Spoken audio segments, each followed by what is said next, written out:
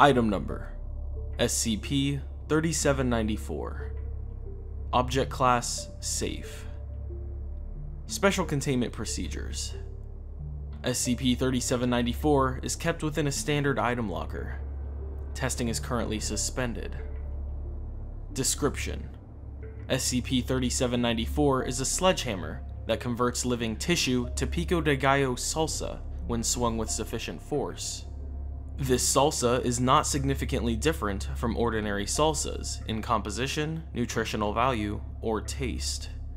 Tissue is converted instantly within a 3 to 8 centimeter radius from the area directly struck by SCP-3794. Converted salsa does not adhere to the subject and slides out of the resulting depression or hole in the subject's body. If salsa conversion causes a portion of the body to become detached, this portion will retain life functions as long as the subject does. Addendum SCP-3794 was used on test subject's skull, resulting in conversion of the entire brain and majority of the skull to salsa.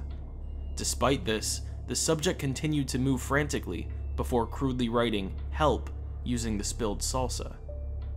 Consumption of the salsa resulted in the death of the subject within 30 minutes. Testing halted.